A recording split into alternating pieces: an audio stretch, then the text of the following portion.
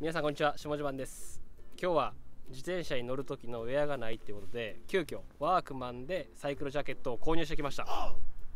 でこのサイクルジャケット果たしてバリバリのサイクリストサイクリストガチ勢が満足できる性能なのかどうかっていうのを検証するっていうのも兼ねてやっていきたいと思います。まずは商品紹介していきます。これサイズ M サイズです。僕は身長1 8 0センチ体重6 4キロ。で M サイズを着用してます。でこの前のここにもベンチレーション。後ろの中央にもベンチレーション。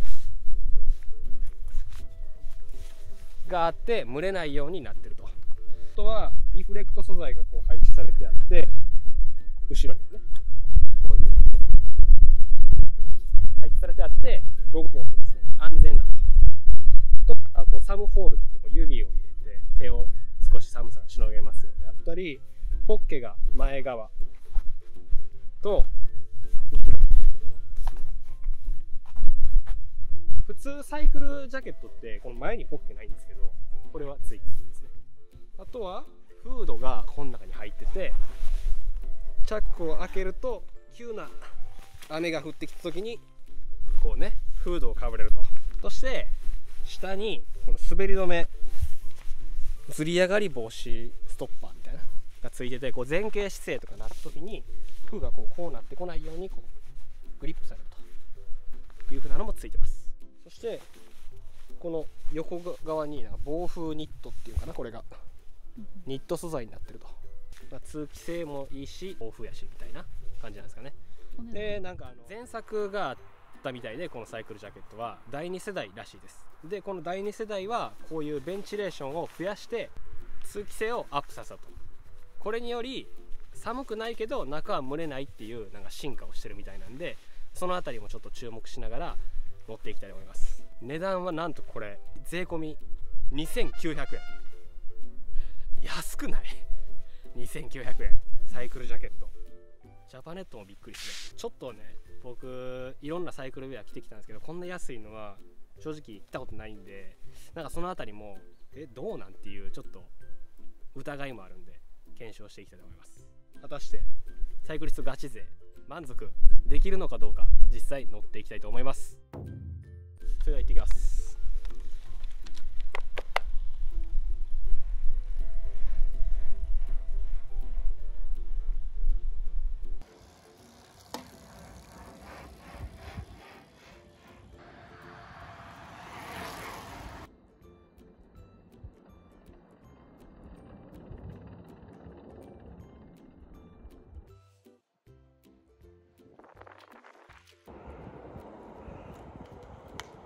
ました。はい。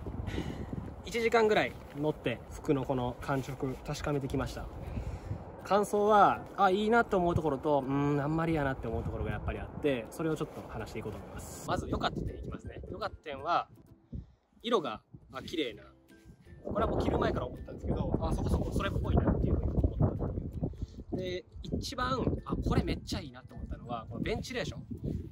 フロントの部分は正直あんまり体感はできなかったんですけどやっぱり背面のこのベンチレーションこれはすごい良かったです。ウィンドブレーカーよく着てると思うのが暑くなってうわ脱ぎたいなと思うんですけどこれはその脱ぎたいな脱ごうかなぐらいの暑さはあるんですけど実際はもう脱がないとっていう暑さにならないというかちょうど程よいところで脱ぐこともなく着ることもなくのところを維持できる。こともなく、切ることもなくの。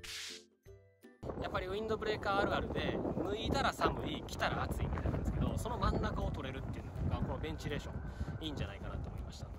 あとは良かったところは2900円。の割にサイクルジャケットとしての機能を果たしてるっていうのがすげえ。逆にわこれちょっとなと思ったのが全体的にこう着用感が深い。でこの裾のところとかもちょっとこうなんていうんですかねタイトじゃないというかフィット感が緩い。ってなってんなそうよれってしてる。だからちょっとこういうところがうーんまあ作り的にチープかなっていうふうに思いました。あとポッケですね。ポッケもでかい。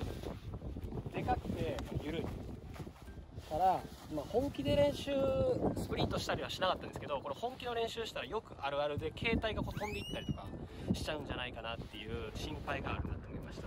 やっぱ全体的に緩いんでこう入れた時に服がそっちに寄っちゃうというかもうちょいここ合成欲しいなっていうふうに思いましたね。あとああとこれですね。ちょっとこれ？サムホールが痛い。ここが食い込んで。これ分かります？赤くなってるここが痛いですね、まあ、このありがたいんですけどこういうのって。で僕は正直いらないなって思いましたね。まあ使わないってこともできるんであれですけど、まあ、普通にグローブはめるかなっていうふうに思いました。そんな感じですかね。ワークマンの値段2900円で考えたらあのすごいいいんじゃないかなって思う。でもこれが多分程よくて多くの人に選ばれるウェアかっていうとやっぱり着やすくてあの、まあ、こういうところちょっとチープなだなと思うんですけど、まあ、それはいいんじゃないかなと思います。で僕がとりあえず着るには全然着ていいなと思うんですけど早くこうしっかりしたサイクル用、えーしっかりしたロードバイク用のウェアが欲しいなっていう気持ちですね。やっぱりこのバタつきとかこういうちょっとこういうのとかってちょっと練習するのにモチベーションがちょっと上がんないというかって思うんで、はい、そんな感じでした。参考になったと思った方いいねボタンチャンネル登録ぜひよろしくお願いします。以上です。ありがとうございました。